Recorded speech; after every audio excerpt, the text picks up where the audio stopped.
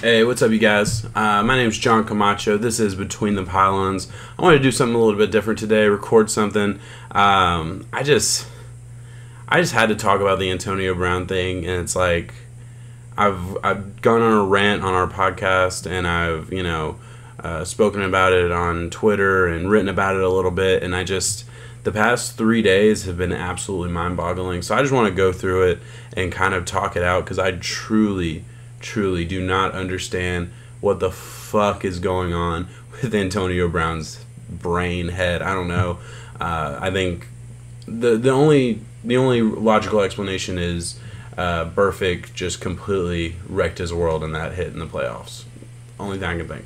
Um, so I mean, of course, you know he, he starts he starts with the Steelers. You know, it starts last year, and he he uh, quits quits on the team, and and I understand there's a lot of other stuff that goes into that, but it, in my opinion, he quits on the team. He doesn't play that last game. He gets suspended. Um, you know, there's a whole there's a whole whatever, and a lot of stuff that came out after that wanted to blame uh, Ben Roethlisberger, blame the team, whatever happened. I think with current events, the way where we're looking now, it's on you, AB. I'm sorry. I can't I can't watch what's happened this off season and, you know, 2 days before the regular season and and think that last year had nothing to do with him. That's on AB in my opinion. We'll see. Um, then he forces his way out of uh, out of uh, Pittsburgh, which, you know, he just fucking went on a rant, acted like a clown, and I was honestly I was one of the guys saying, okay, he's just doing this because he wants to get out of Pittsburgh. He's forcing his way to another team. I respect that. Go get your money. He, he got a three year, $30 million deal or whatever the fuck it was. You know, a shit ton of money. 30 million guaranteed for sure, on top of whatever else. I'm not a contract guru. That's not really my lane, honestly. Um, but he, he forces his way out, gets the money. Great. Go get paid. I'm, I'm cool with that. I didn't really have an issue with that. Did he act like kind of a child? Yeah, but I mean, fuck. He, he got what he wanted. Cool Go to work, do your thing. Then you get a fucking cryogenic foot injury, which I don't even understand how the fuck that happens, but it did. Whatever. Sounds like he would have bounced back from it. I'm not sure. Uh, I missed everything else. It sounded like he was gonna play week one. Now he's not, obviously. Um, but then he has the fucking helmet thing. Then he has the fucking uh, the the fucking he he's upset because he got fined fifty thousand dollars for missing team meetings because of a fucking helmet, a helmet, which I get that's important to the players, whatever. But it's a fucking helmet. Like play by the fucking rules, AB. Come on. Um, and then he wants to cuss out his his boss, general manager uh, Mike Mayock, but cusses him out, calls him a cracker, and all this other stuff. Which I don't know. I I didn't. There's a whole uproar about that on Twitter. I didn't really care that he cussed out another grown adult. Uh, just the fact that it was his boss. You know, I can't cuss my boss out nobody else in the regular world can cuss their boss out. I mean, for the most part, uh, why should AB be allowed to? Because he can catch a ball real good. Just doesn't make sense to me. Um, then he uh, apologizes. Uh, so he apologizes on Thursday, and then Friday he gets another fine. Realizes he's lost his thirty million guarantee, and he quits. Now the last part I really don't have an issue with, because uh, he did quit. I mean, but he quit because the Raiders basically made him. Like in in his job, you know, guaranteed is everything. You know, and that, that's that's true for pretty much any uh, football player. Guaranteed is is really all that matters. And once the Raiders took that away, they basically cut him, but they let AB make the final decision. So I I didn't have a problem with the release me comments that came out this morning that was whatever. My biggest issue was this all stemmed from a helmet, which you know I've gone in on on that so many times. I'm I'm not even gonna worry about it. But this this all stems from a helmet and a fifty thousand dollar fine. And I and quick math, quick math. You guys can do it on your phone with me. I've already done it. it, it a fifty thousand dollar fine to somebody who's going to be making thirty million dollars over the next three years is equivalent to a two hundred and fifty dollar fine over someone who's going to be making about one hundred and fifty thousand over the next three years that's fifty thousand a year. I don't make fifty thousand a year. I make a little bit less than that, but like that's that was just something that seemed pretty fucking attainable for most people. Fifty thousand. Most grown adults are probably making more than that, right? Uh, hopefully, or uh, right right in that ballpark. Um, hopefully more. Um, so two hundred fifty dollars is the equivalent of what he was fined to his 30 million. Now that doesn't that doesn't account for all the extra money that he would have made on his contract. That doesn't account for endorsements, all the other shit that he gets for being a football player and playing in the NFL and all that stuff, jersey sales, all that. Doesn't count for any of that. So $50,000 fine is basically nothing for Antonio Brown. Just like $250 really isn't a whole lot to me. Just not. So I so you lost your shit over that, your team fined you you deserve to be fined. You skipped meetings. You caused an entire fucking uproar the entire offseason over nothing. A fucking helmet, man. You deserve to be fined. And then you cuss out your coach for being fined, or you, and, and or not your coach, your GM. And from the reports that I read, he approached Mike Mayock. He started the shit. He punted the ball, and and, and all this stuff happened. Then he realizes the the next day, oh shit, I can lose all my guaranteed money apologizes, thinks it's okay, and of course the Raiders basically cut him without. Uh, they didn't cut him, but they sent a letter saying, "Hey, you are not entitled to any of your guaranteed money. All of that is null and void because of language in the contract that you broke." Which, honestly, I fucking love it. to me, this is somebody getting what they fucking deserve. You're gonna act like a child. Treat them like a fucking adult. Like you, you, you want to cry about not getting exactly what you want now you've lost money that you'll never get back. And, and and I know that sounds crazy. Yeah, he'll probably end up on another team. I'm recording this at 2:50 uh, Tennessee time, Central Central time. Uh, after he was got cut, apparently he can he can be signed at 401 by a team. I haven't seen any team that wants him. Honestly, it's tough to imagine a team that's gonna want him after this all those fucking shenanigans because he's not gonna stop he's proven that he's not going to stop. He's proven that that he believes he's above the system. He believes that he is better than everybody else in the world. So so he why would he stop? He, he's he believes he doesn't need to. So I, I, I can't imagine a team. I mean, that's really gonna want him. I mean, Jaguars maybe. Uh, you think of teams. You have to think of teams that would need him. You have to have a need at wide receiver and a team that can handle the uh, the uproar. I mean, Jaguars, I don't think are str- a strong enough locker room to handle that. They struggled last year. The locker room struggled because they were losing, so that, that doesn't seem like a strong locker room to me. Um, Baltimore, maybe they're they're a stronger locker room, I would think. I it, it would just be tough. I don't really know where he's gonna land. He'll land somewhere, but he's lost money that he's never gonna get back because no team's gonna give him thirty million guaranteed. I mean, he's proven he doesn't deserve it. He's proven that he can't handle being paid and treated like a big time player because he he was paid like that and treated like that, and he fell the fuck apart. Like this, and in the same day, we see Julio Jones, who is the epitome of a top notch character guy, get paid. Uh, I think sixty six millions over over three years. That's almost double what Antonio was getting, over double what Antonio was getting, sixty six million over three years, and he gets it all up front. Gets yeah, he gets uh, I believe it was sixty four million up front right right on signing. So that's that's awesome. I love Julio Jones. I'm he's a perfect character guy, and then on the other side of that, Antonio Brown is a fucking child. So I don't know, man. It, it's just crazy. I don't I don't get. I don't get the thought process. I don't get where he's coming from. I don't I don't understand what's going through his head because th- there's no reason that you can't just shut up and play football. Like, and, and I get that I, I hate being that guy. I hate being that analyst or whatever the fuck I am saying, hey, just shut up and play football. Like, I, I understand that you're a person. He put out the YouTube video, which I didn't even get into that because it was just weird, stupid. Like, he's done a lot of things on social media that are just like, was that supposed to be like on your side? Are we supposed to? Was that supposed to gear us towards you? I don't get it. Like he called out uh, Juju being for being a college kid that emailed him or texted him and uh, asked for advice. Like okay, why is that? How does that make you better than for for shitting on Juju for asking for advice? I don't understand that. Uh, and then he posted the IG post expecting everyone to be on his side. You deserve to get fined. Like you did you broke the rules, you get fined. That's that's how your job works. So no one's gonna feel sorry for you.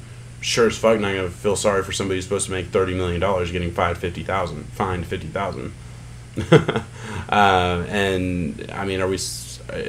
It was like a commercial for AB. Like, oh, everyone's against me, whatever. Like, you're putting everybody against you. Like, all you have to do is shut the fuck up. All you got to do is just like like there's nobody that I know that doesn't love the way Antonio plays on the field. I mean, he's an awesome football player. No one's going to deny that. He, he was great in, for Pittsburgh. We were really excited to see what he was going to do for the Raiders. So explain to me how the fuck everyone's against you. You're you're putting people against you. You're acting like a fucking child, and you're going. You're letting social media and all this shit get to you.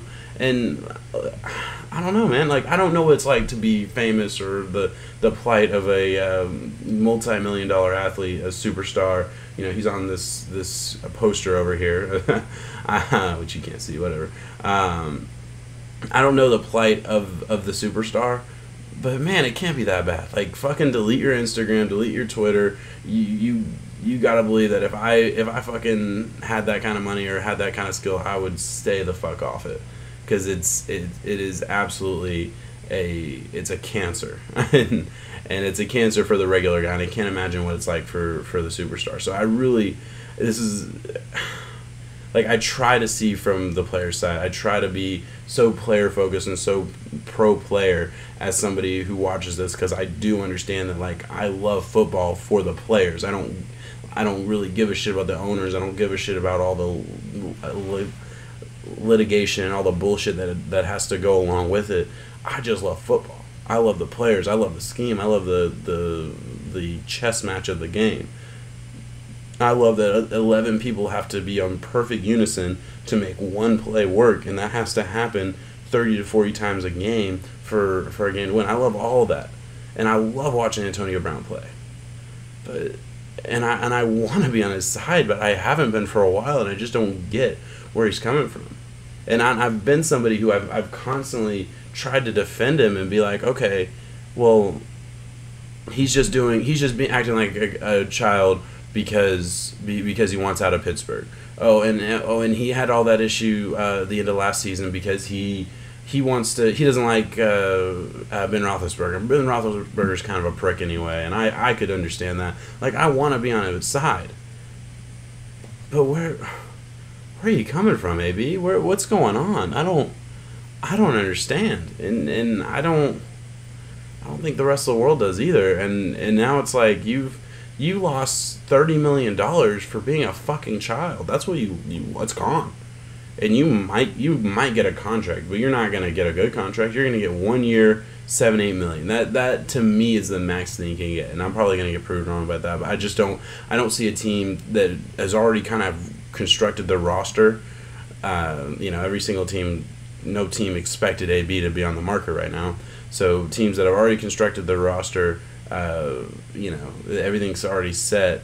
How much money are you really gonna pay a guy who's done this? I mean, done everything wrong. I mean, in this past the past three or four days have been a news cycle that I have never seen. I don't think anybody has ever seen the level of fucking nuts that Antonio Brown has been over the last three days. Like he went from pissed, like pissed that he uh, got fined, to apologizing, or no, to cussing your your cussing out your boss, to apologizing because he realized, oh shit, I might lose my money, and then losing his money, and then saying fuck it, release me.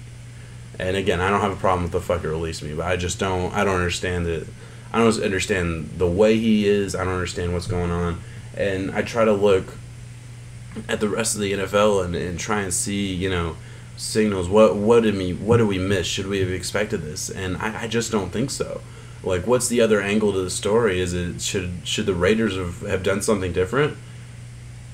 Yeah, they, they shouldn't have let this go on so long. Maybe, like they should have shut it down when he was fighting for his uh, helmet. But you know, he is a superstar. He wasn't really doing anything that bad. He just wanted a helmet, and I didn't even really have a huge issue with that. My biggest issue with that whole thing was saying, "Oh, I don't need this game. I'll quit if I don't get my helmet." That was when like my opinion shifted in a big way.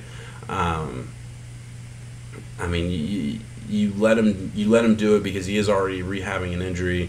You can't can't get too mad about the injury. Like it's a fucking stupid injury, but whatever. So I don't I don't know what the Raiders could have done. I think they did it the right way. Uh, other than just releasing him after the cussing, uh, I don't think they really could have done anything different. They basically gave gave uh, Brown the last ultimatum was you can play, but you're you're gonna play by our rules. And you know Brown was never gonna do that. like we we knew that, and I wouldn't really expect anybody to you know see their entire uh, salary get taken away. I mean, not taken away, but taken the guarantee of it taken away, and still do their job. it's that's tough to that's tough to to come back from. So I, I don't know what the Raiders could have done differently. I don't think they did anything wrong. They traded a third and a fifth round pick for him, so they didn't give up a lot of draft capital, uh, especially for what they could have been gaining. I think you know any of us that plays fantasy football probably made a worse move, honestly. Um, yeah, I don't know. I don't. I don't know. I don't think there's another angle to this. I mean, this story's not over. Antonio Brown's gonna go somewhere else. He is gonna. He's gonna be in the news.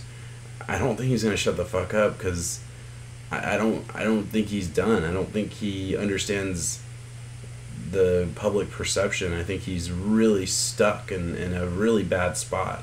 And I, you know, I I hope that he can get out of this and realize that nobody was against him. At least no, no sane person was sitting here rooting against Antonio Brown. They weren't.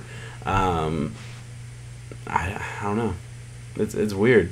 It's a weird story, and this is a weird kind of way to end the video because I don't. I, I like to have an answer, or at least have kind of a, a better understanding. But I just needed to kind of get my thoughts out and figure out like what the fuck just happened because what the fuck just happened? Uh, Antonio Brown lost his job, and he lost his job in the stupidest way of all time. And that's I, I think the story. I don't have I don't know. I don't know what what do you learn? Don't be a fucking dumbass. Don't don't cuss out your GM. Get off Instagram, man. Maybe maybe that's it. Maybe, maybe like Drew Rosenhaus, the uh, the GM or excuse me, not the GM, the uh, the agent for Antonio Brown, Drew Rosenhaus, should have disconnected, deactivated, whatever he had to do, get him off social media because social media is a cancer for this kid, or Antonio, not a kid, he's older than me, um, and maybe maybe that's something that that a, a lot of the that teams and agents should be thinking about moving forward. These you know kind of off the wall nutcasey type of players that you know just don't think before they press send. Take them off social media you know what i mean? Uh, or get them a burner account.